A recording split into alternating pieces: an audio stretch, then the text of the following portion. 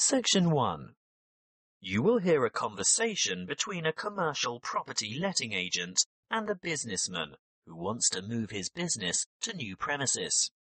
First, you have some time to look at questions 1 to 6.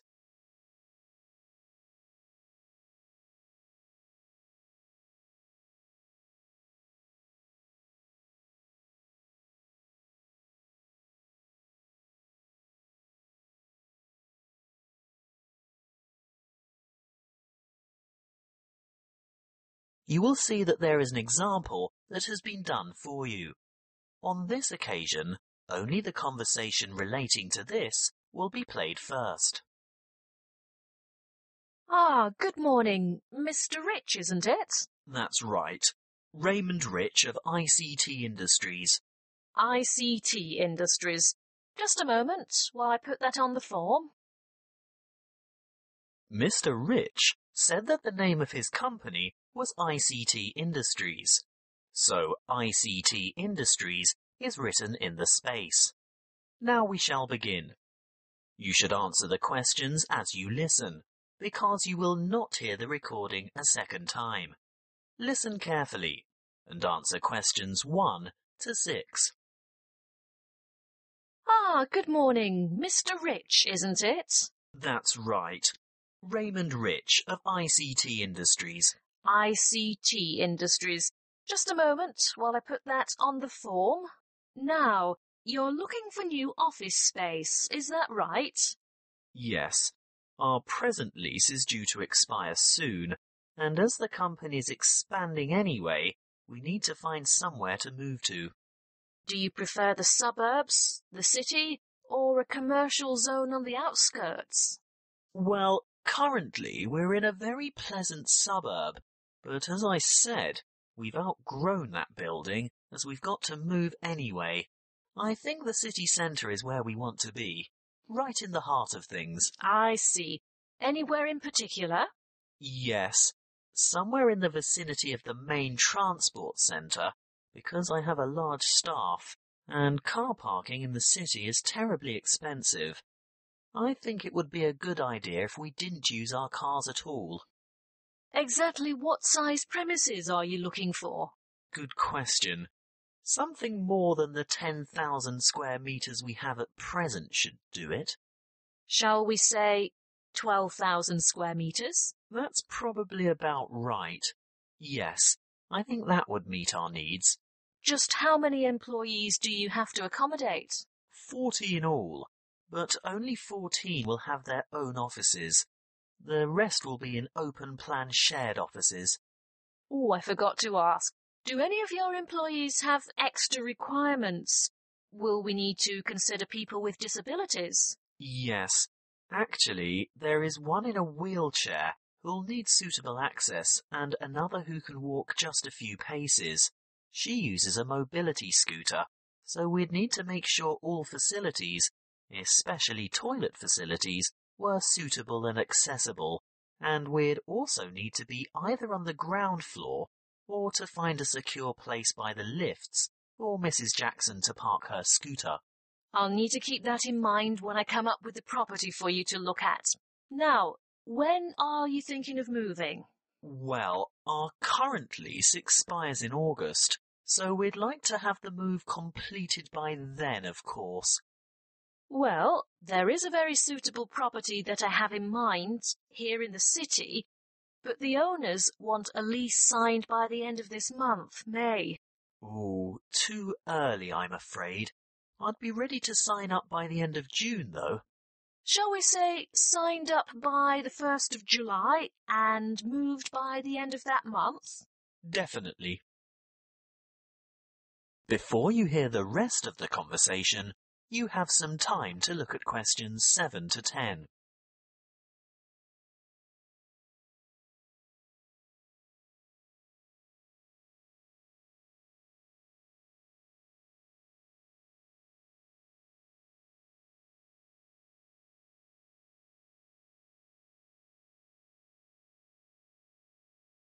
Now listen and answer questions 7 to 10. Well, I'll keep your requirements in mind and let you know when something comes up. Wait a minute. There is a vacant office space on the tenth floor of this very building. Would you care to take a look? It has only just become available, but I haven't started marketing it yet because it's in need of a bit of a makeover. The floor area is about the right size. Good. Let's see it then. Well, what do you think? Elevator access is great, and the lobby area is roomy enough for that disability vehicle you were telling me about. Oh, I don't know. There are too many small offices. Would we be able to take out a few of these walls and make bigger work areas? I don't see why not. Most of them are just partitions. Obviously, load-bearing walls can't be touched, but there aren't many of those to worry about. What about kitchen and dining facilities? We like our staff to feel comfortable eating at work. If they go out for lunch, it often leads to extended lunch hours and lost time. Come this way. This is the kitchen. Ooh, it's a bit pokey. We'd need to enlarge it somehow. What's behind the wall here? There's just a storeroom.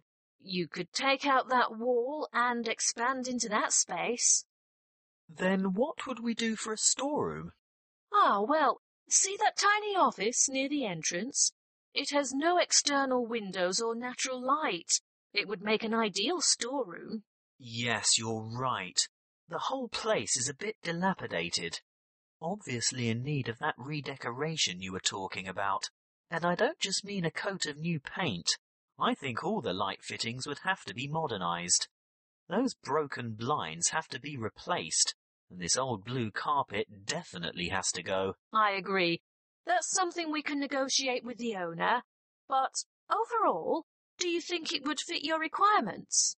Well, you haven't given me any indication of what the lease would cost. But before we get into that, what are the terms of the lease concerning length of tenancy? Well, generally in the city, leases are never less than three years. Oh? I mean, we don't mind signing up for that period of time initially, but we don't necessarily want to have to move after that. We've been in our last place for ten years, you know.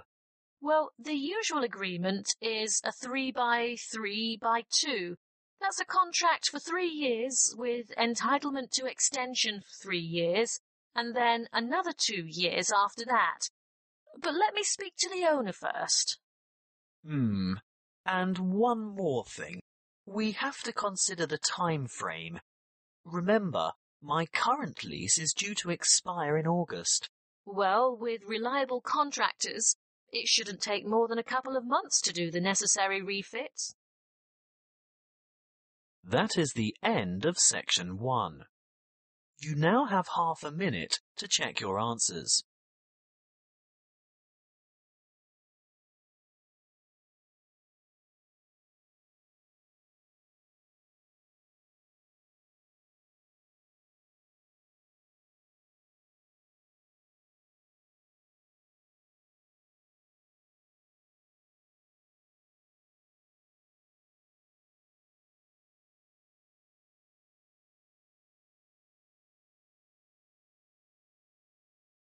Now turn to section 2. Section 2. You will hear a student counsellor giving information and advice about further study. First, you have some time to look at questions 11 to 14.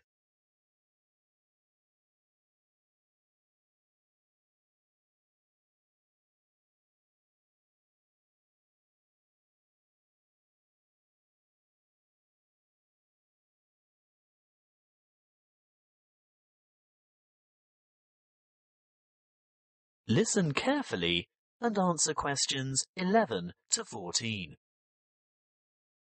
Are you thinking about further study? Well, listen to this before you make a decision. It will help you decide if going on to tertiary study is right for you, and it will help you make good decisions for the right reasons. It includes information about student life, what it will cost, and the different ways you can support yourself. What should you think about first?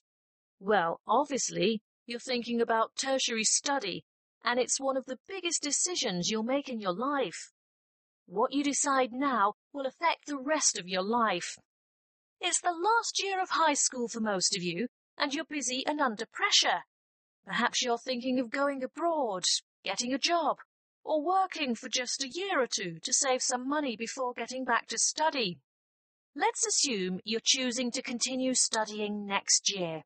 It's important that you set yourself goals and plan how you're going to achieve them. First off, career goals. What career do you want to pursue, or what is it your parents want you to do? Then you need to think about employment opportunities at the end of your study. Will your qualification assist you in finding a rewarding job? Thirdly, course selection.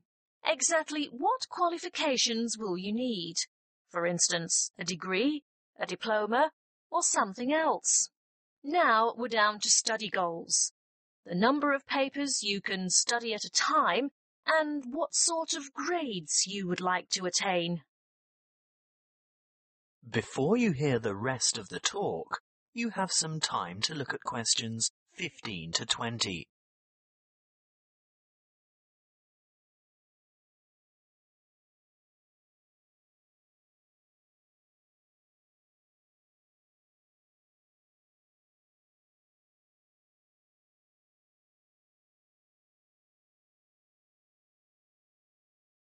Now listen and answer questions 15 to 20. Now, how do you make all that happen? You might feel overwhelmed by all the choices, but there are people and agencies to help. Career Services is a great website with lots of useful information and a search tool for finding courses and providers throughout the country. Then there are the tertiary education institutions themselves. Universities and institutes of technology, for example, have comprehensive information on their particular websites. You can find out most anything there. Many campuses have a student support association and they can tell you a lot about what to expect. Don't be afraid to ask them anything. I'm sure they've heard it all before it might also be worthwhile to make inquiries with potential employers to see if they will fund or partially fund your studies. If it is a trade you want to learn, the apprenticeship scheme will help you earn while you learn. That way you'll get valuable work experience while you're studying. If you're still at school, then search out your school careers advisor who will have a variety of information and resources at hand and be able to give you the kind of guidance you need to make a fully informed decision. And last but not least, don't forget your parents and other family members. They can be of enormous help too. Oh, one last thing that might help you make up your mind. Have you thought of applying for a scholarship? Some embassies, governments, and individual institutions offer scholarships to cover part or all of your study fees. Most large libraries have a comprehensive catalogue of the various grants, awards, and scholarships that are available. That is the end of section two. You now have half a minute to check your answers.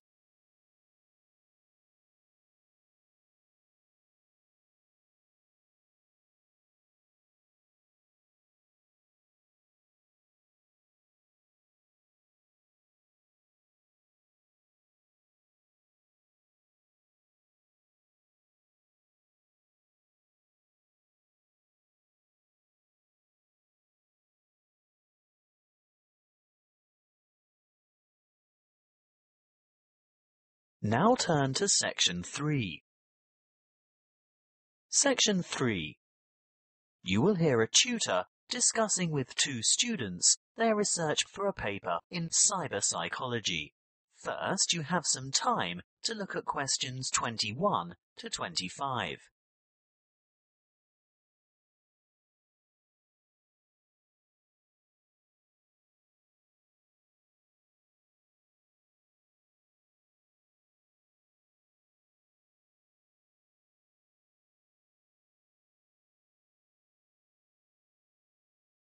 Listen carefully and answer questions 21 to 25.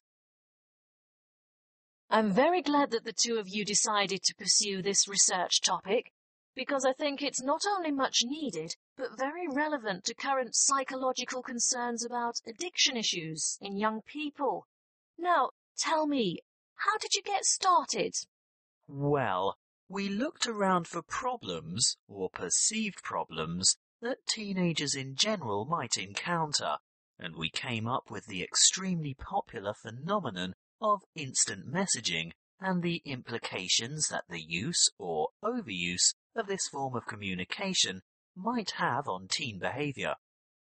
Then we decided to propose the concept of instant messaging addiction. By the way, do you mind if we abbreviate instant messaging to IM in our discussion? Not at all. But before you go any further, tell me something about the demographic sample you used. We chose a random sample of teenagers from Jiangsu province from a typical public middle school, and we considered this group to be representative of teenagers in urban China. We distributed 500 questionnaires and 450 were returned. The sample group was on average aged between 14 and 15 years. Internet addiction, or technological addiction as it's sometimes called, has been studied many times before. What makes your research different?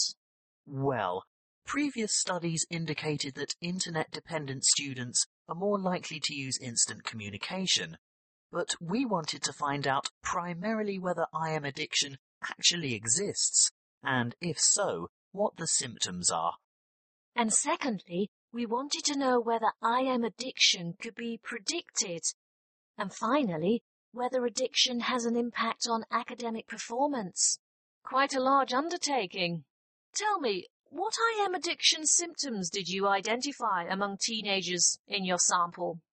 We found four major IM addiction symptoms, which are remarkably similar to the symptoms used to identify substance dependence, although here we're looking at behavioral addiction not chemical addiction to drugs, alcohol, or the like?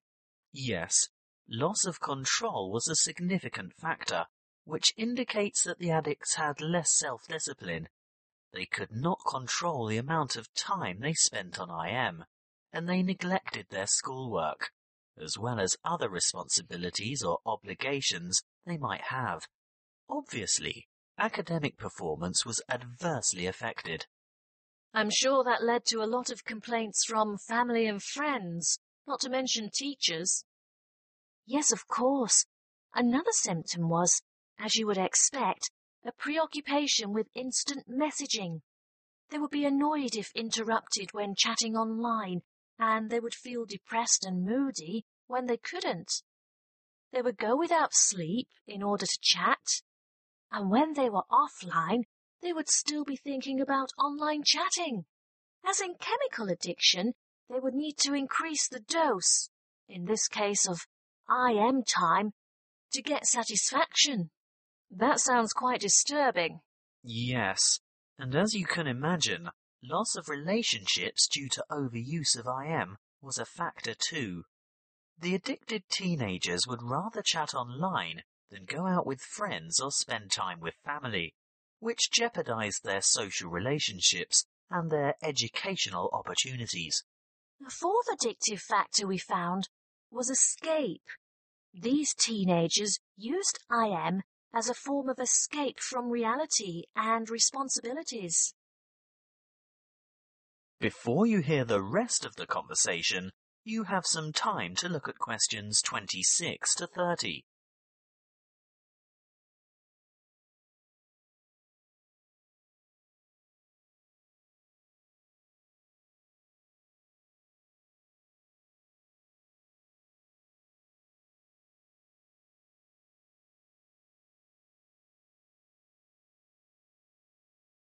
Now listen and answer questions 26 to 30.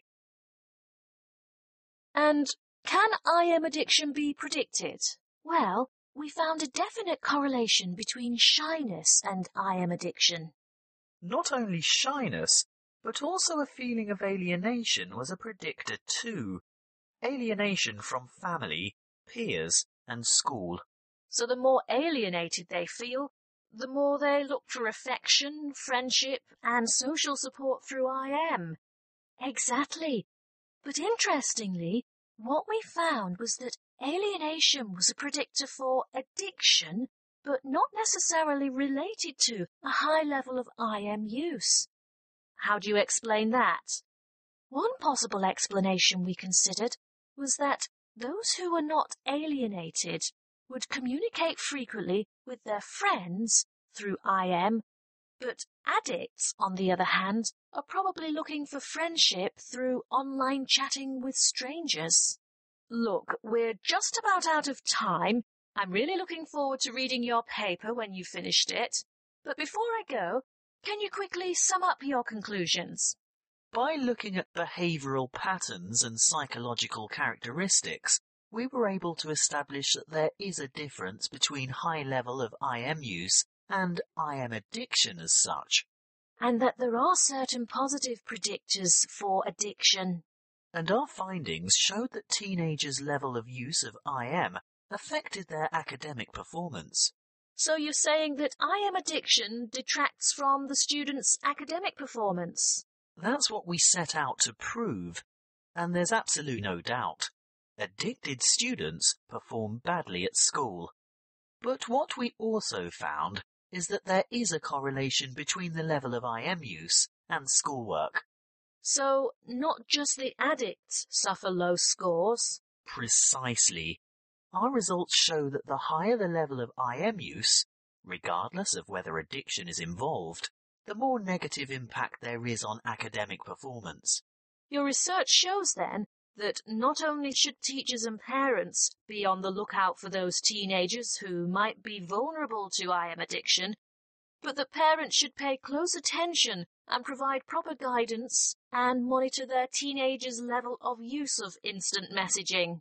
Yes, that's it in a nutshell. That is the end of section three. You now have half a minute to check your answers.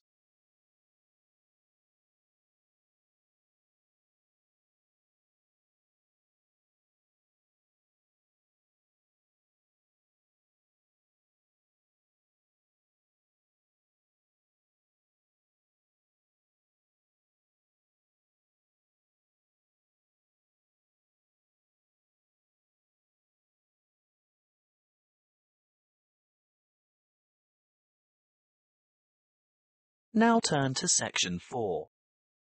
Section 4. You will hear a geography lecture on the British Isles. First, you have some time to look at questions 31 to 40.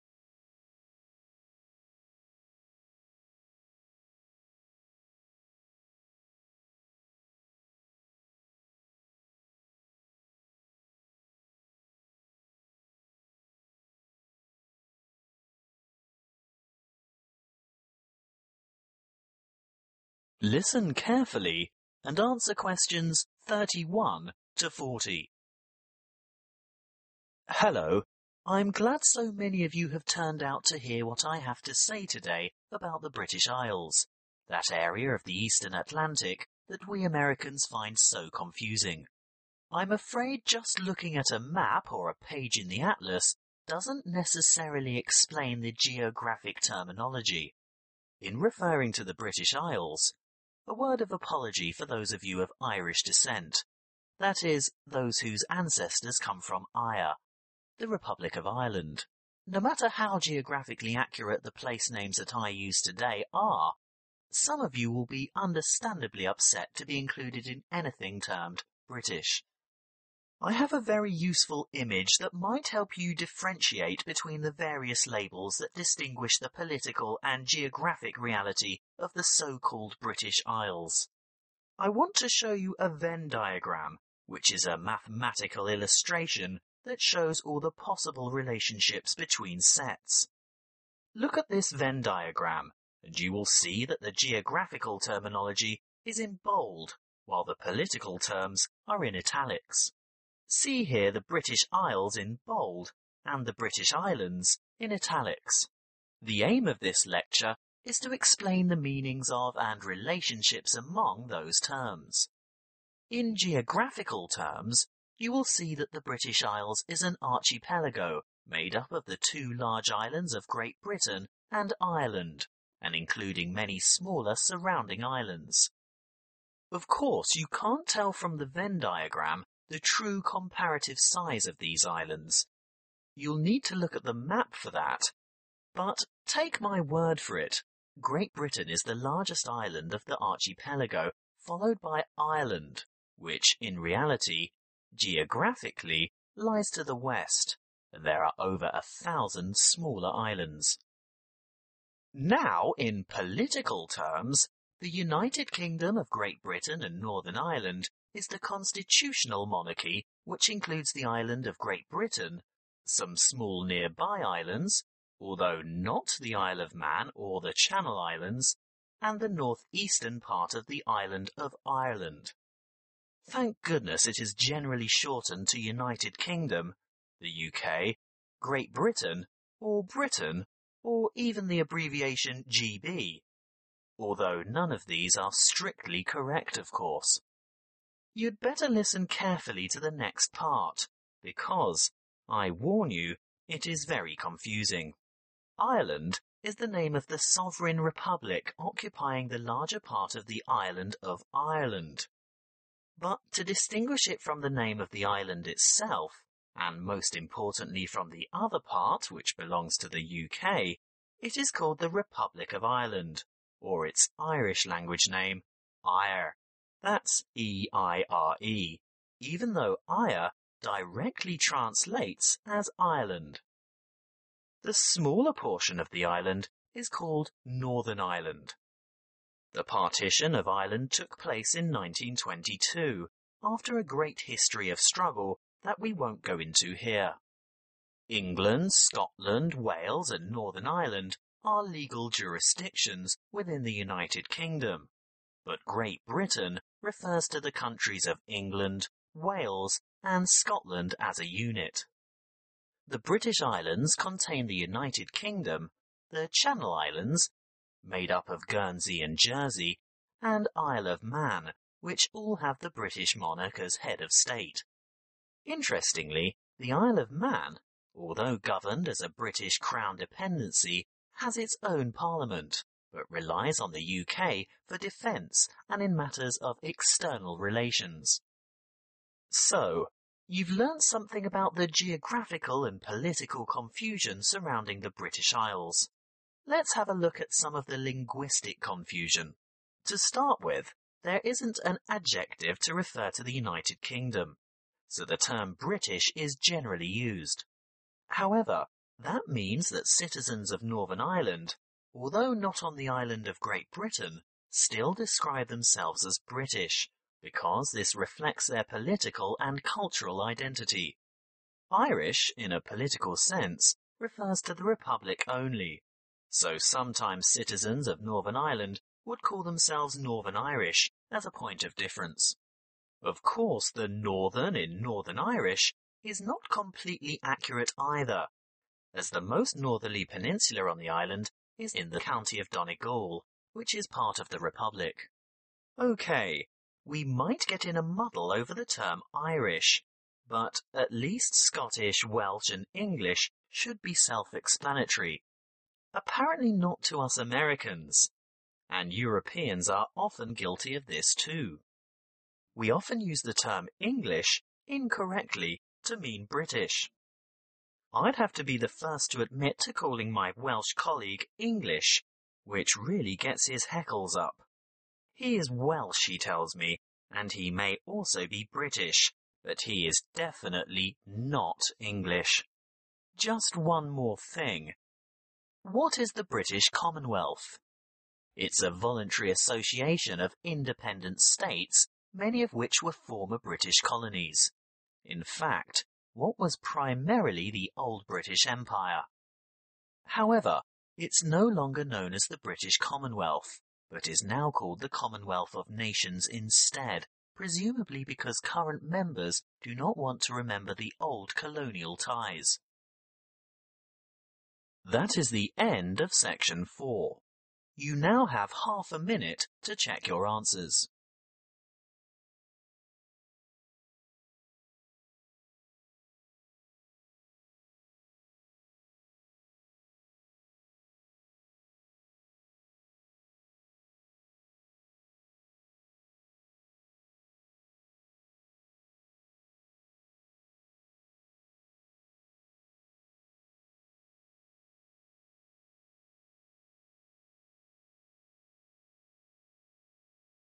That is the end of the listening test. You now have 10 minutes to transfer your answers to the listening answer sheet.